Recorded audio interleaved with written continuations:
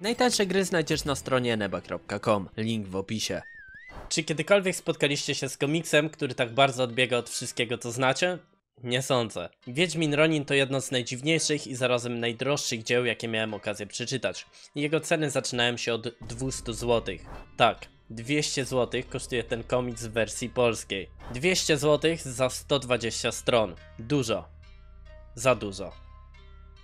O za dużo. To nie jest książka warta 200 zł, ale o tym porozmawiamy sobie zaraz. W dzisiejszym odcinku chciałem wam opowiedzieć o tym, czym w ogóle jest Wiedźmin Ronin, dlaczego nie warto go czytać, co oznacza on dla oryginalnego Wiedźmina oraz pokazać wam naprawdę ciekawe i oryginalne stwory, które w nim znajdziemy. Porozmawiajmy sobie zatem o tym czymś. Oto Wiedźmin Ronin.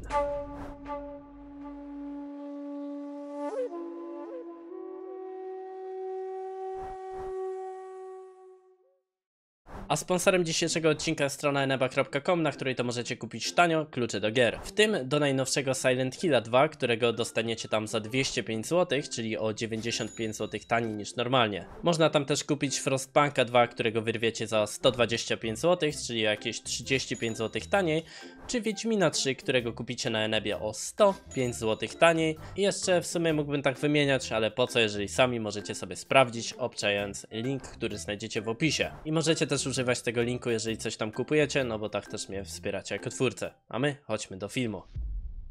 Zacznijmy sobie od tego, o co tu w ogóle chodzi. Wiedźmin Ronin to nie tylko bowiem komiks, a całe osobne uniwersum, o którym nie za dużo wiemy. Ale istnieje całkiem spora szansa, że niebawem dowiemy się więcej, ponieważ Wiedźmin Ronin sprzedał się naprawdę nieźle, a ludzie pokochali ten twór. To co mam na myśli mówiąc, że Ronin to osobne uniwersum, to to, że nie za bardzo możemy go połączyć z poprzednimi Wiedźminami, czy nawet książkami. Wiedźmin aktualnie posiada cztery takie najważniejsze uniwersa. Uniwersum książkowe, czyli oryginalny świat stworzony przez Andrzeja Sapkowskiego w serii opowiadań i powieści, do którego należą książki Wiedźmin. Mamy również uniwersum Netflixa, którego nie można połączyć z książkami. Do tego uniwersum należy oczywiście serial Wiedźmin od Netflixa, ale też filmy z Mora Wilka czy Syreny Głębin. Mamy również główne uniwersum CD Projekt Red, na którym oczywiście skupia się ten kanał, a do którego nie tylko należą książki, ale oczywiście również wszystkie gry,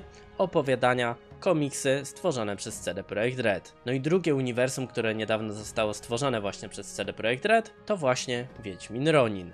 Z pewnością nie może być one łączone z którymś z tych trzech wcześniej wymienionych uniwersów. To coś zupełnie nowego, świeżego, ale też potwornie abstrakcyjnego, o czym zaraz sobie porozmawiamy. A skoro już mniej więcej rozumiecie czym jest Wiedźmin Ronin, porozmawiajmy trochę o historii całego projektu. Wiedźmin Ronin został stworzony dzięki kampanii na Kickstarterze. Celem kampanii było zebranie 90 tysięcy euro, ale ostatecznie udało się uzyskać imponującą kwotę 678 tysięcy. Taki sukces pokazał jak duże jest zainteresowanie alternatywnymi wersjami przygód Geralta, a także jak ogromne wsparcie społeczność fanów potrafi okazać, gdy projekt jest naprawdę interesujący. Komiks ostatecznie został wydany w marcu 2022 roku dla wszystkich wspierających kampanię, a w październiku jeszcze tego samego roku trafił na półki sklepowe. Polska wersja przeszła wszelkie oczekiwania, bowiem wszystkie egzemplarze wyprzedały się w błyskawicznym tempie, co sprawiło, że obecnie są niedostępne w regularnej sprzedaży.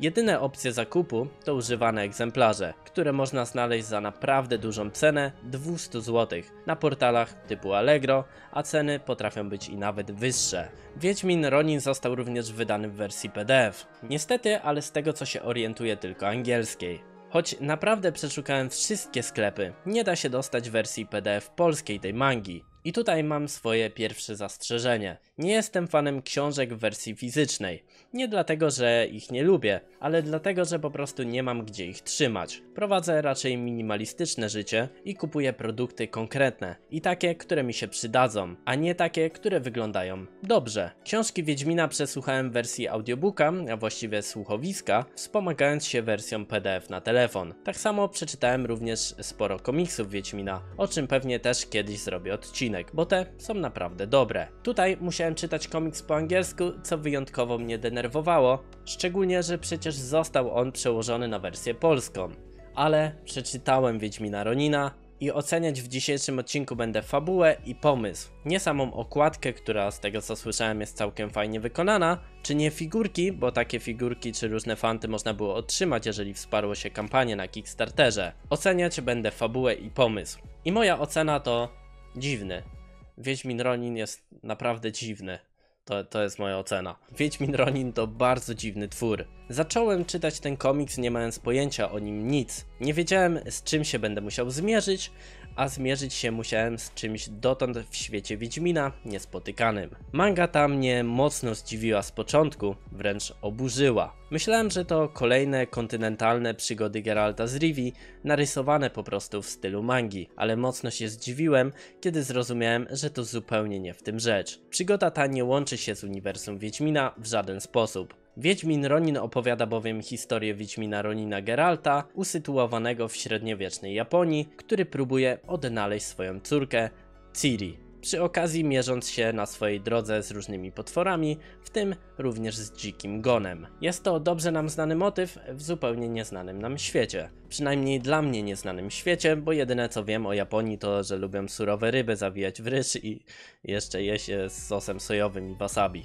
No i z dwa razy miałem okazję zasmakować Japonię. Ale to jedyne co o tym kraju wiem. Z pewnością jednak osoby zafascynowane tym orientalnym krajem się w tej mance nieźle odnajdą, bowiem spotkamy tam wydaje mi się typowy japoński klimat i sporo japońskich potworów znanych z różnych legend które na potrzeby tego Wiedźmina zostały nieco zmienione. Sam osobiście nigdy jakoś fanem tej japońskiej kultury nie byłem. Szanuję ją i doceniam jak każdą kulturę na świecie. Ciekawi mnie po części, jak każda kultura na świecie, ale czy Wiedźmin jest w niej potrzebny? To dobre pytanie, na które chyba odpowiedzieć będziecie musieli w komentarzu. Ja osobiście nie wiem. Jedyne co wiem to, że fabuła w tej mandze mnie kompletnie nie porwała. Z początku to wszystko zaczynało się naprawdę interesująco. Tajemniczym smokiem, nieznanymi potworami, które zazwyczaj nie krzywdzą ludzi, a jednak po raz pierwszy zaczęły to robić i zagadką, dlaczego to robią. Jednak wątek ten po kilku kartkach został kompletnie porzucony, a po chwili Wiedźmin ruszył dalej. Nigdy nie poznajemy odpowiedzi kim był ten smok, co tam robił, co się stało z mieszkańcami wioski. Geralt porzuca to wszystko, bo ma on ważniejsze zadanie. Po raz kolejny musi się zmierzyć z przeznaczeniem. Po raz kolejny musi się zmierzyć z dzi... Co to za dźwięki? Słyszycie? Słyszycie te dźwięki?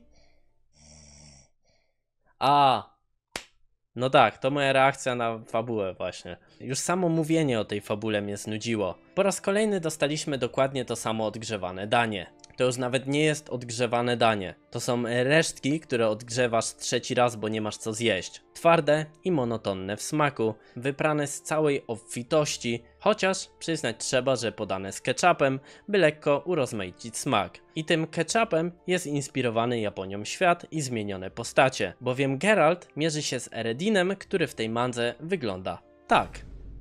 Tak. To jest Eredin, a to są jego ogary. Jednak nie będę wam spoilerować wszystkiego, gdybyście chcieli sobie tego Wiedźmina przeczytać. A skoro wspomniałem już o potworach, myślę, że to też również dobry moment, byśmy na chwilę odpoczęli od tej zwariowanej fabuły i pokażę wam teraz potwory, które w tej mandze możemy znaleźć. Na koniec tej książki dostajemy taki naprawdę fajny bestiariusz, gdzie opisane mamy je wszystkie i myślę, że to dobry moment, by o nich chwilę pogadać. Bo choć są one dziwne, to naprawdę, ale naprawdę oryginalne i naprawdę, naprawdę ciekawe. I myślę, że jeżeli ktoś się chce zdecydować na przeczytanie tej mangi, to że pokażę teraz wszystkie potwory, które można tam znaleźć, pomoże wam lepiej zrozumieć fabułę oraz co się tam dzieje, bo jest ona w tej mandze dość chaotyczna. Zacznijmy sobie od potwora, jakim jest Kappa. Kiedyś taki film nagrywałem, Kappa. Coś, coś takiego było. Pewnie wrzucę wam tu fragment. Cringe, cringe fest. Kappa, czyli dziecko wody.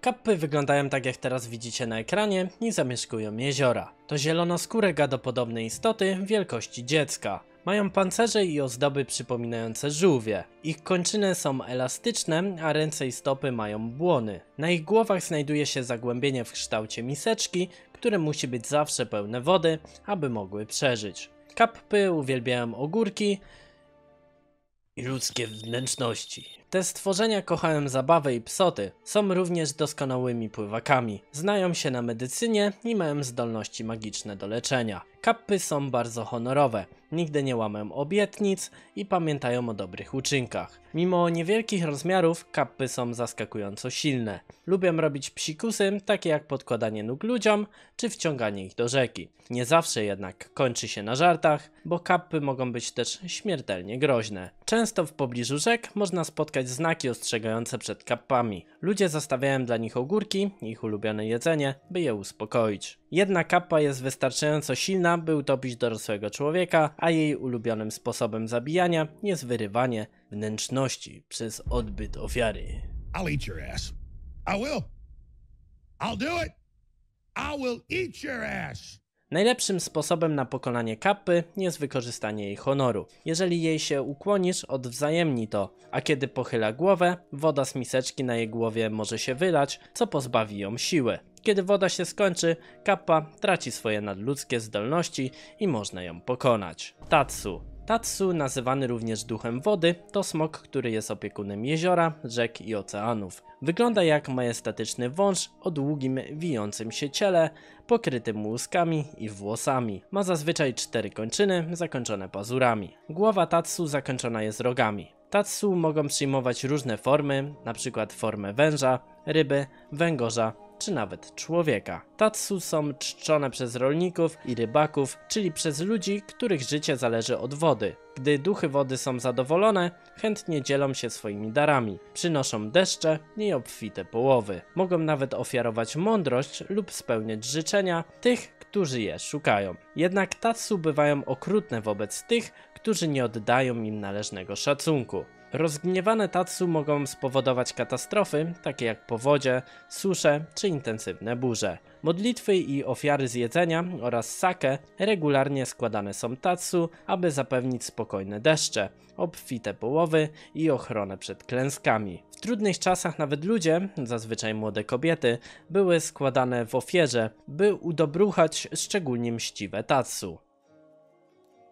Tengu mają czerwoną skórę i twarze przypominające psie, z długimi nosami. Ich palce i stopy zakończone są ostrymi szponami, a na plecach mają skrzydła, przypominające te, jakie mają jastrzębie lub wrony. Pół ptak, pół pies, pół człowiek. Niektórzy uważają Tengu za bóstwa niebios i gór, inni z kolei za demony. Prawda leży gdzieś po środku. Są strażnikami starożytnej wiedzy i tajemnic magicznych, a także ekspertami w posługiwaniu się mieczem i sztukach walki. Są gotowi dzielić się swoją wiedzą z ludźmi, którzy okażą się godni, lecz okrutnie karzą tych, którzy na to nie zasługują. Najpotężniejsze Tengu posiadają magiczne wachlarze z piór, dzięki którym potrafią latać, teleportować się, dzielić swoje ciało, zmieniać formę, kontrolować wiatr, deszcz, ogień, manipulować ludzkimi sercami i przełamywać iluzje.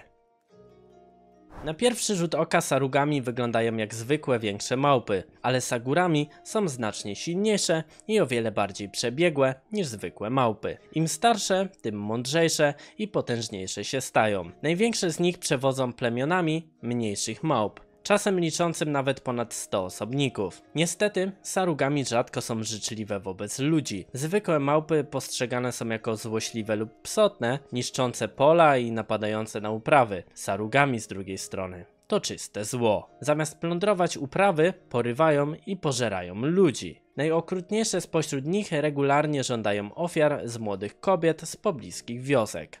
Odmowa oznacza zniszczenie wioski i jej pól. Yamanby to okrutne wiedźmy, które mieszkają głęboko w górach, z dala od cywilizacji. Zamieszkują jaskinie lub zniszczone stare chaty. Używają magii, by nałożyć na nie iluzje, a potem wyglądają one jak bogate dwory lub przytulne zajazdy, z mocnymi ścianami i ciepłym ogniskiem. Następnie przebrane za piękne damy lub życzliwe babcie, zwabiają niczego nie podejrzewających podróżników. To doskonała pułapka na zmęczonych wędrowców szukających miejsca na odpoczynek. Kiedy już zwabią podróżnika, Yamanba traktuje go z największą gościnnością. Serwuje ciepłe jedzenie, przygotowuje ognisko i toczy flirtujące rozmowy. Wszystko po to, by jej ofiara obniżyła swoją czujność. Gdy gość w końcu zaśnie, Yamanba odsłania swoją prawdziwą, przerażającą postać. Brutalnie morduje swoje ofiary, używając ulubionych narzędzi noży do cięcia mięsa. Najlepszą obroną przed Yamambą jest nigdy nie obniżać swojej czujności. Ich największą siłą jest podstęp, więc jeżeli uda się nie ulec ich iluzjom i będziesz mieć oko na wszystko, może uda ci się uciec. Yukinko występują tylko na obszarach pokrytych śniegiem. Wyglądają jak małe dzikie psy zrobione ze śniegu i lodu. Yukinko współpracują z Yuki Ona, aby zwabić swoje ofiary.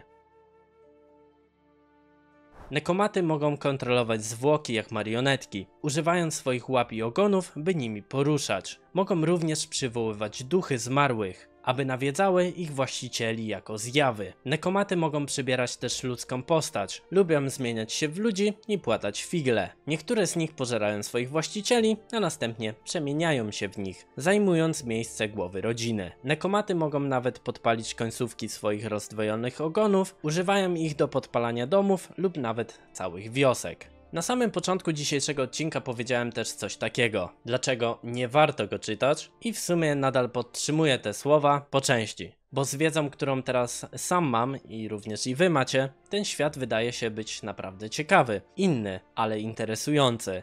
A kto wie, może to początek zupełnie czegoś nowego, jakiegoś zupełnie nowego uniwersum, które będzie nadal rozwijane. Już została stworzona wersja planszowa gry The Witcher Path of Destiny w wersji Ronin. Już zostały stworzone figurki Wiedźmina w japońskich klimatach, czy koszulki. Kto wie, może niedługo dostaniemy również kolejny komiks, może jakieś nowe opowiadanie, może jakiś serial, a może małą grę. Sama manga nie jest też najgorsza, ale z drugiej strony nie ma nic wspólnego z Wiedźminem, jakiego znamy. Wszystko jest tam zupełnie inne. Więc chyba pytanie, czy go czytać, czy nie, jest bardzo indywidualne i każdy musi odpowiedzieć sobie sam. Ja w sumie nie żałuję, że to zrobiłem. Możecie napisać, co sądzicie o Wiedźminie Roninie w komentarzu, jeżeli go przeczytaliście, a jeżeli nie, to możecie go kupić. Na pewno możecie też zostawić subskrypcję na tym kanale i wpaść na największy fanowski cyberpunkowo-wiedźmiński Discord na świecie, czyli Wielka Redania. Dziękuję Wyrufix za wsparcie i możecie też korzystać z mojego linku kupując coś na stronie eneba.com. A my klasycznie widzimy się za kilka dni. To był Wiedźmin Ronin. Do zobaczenia.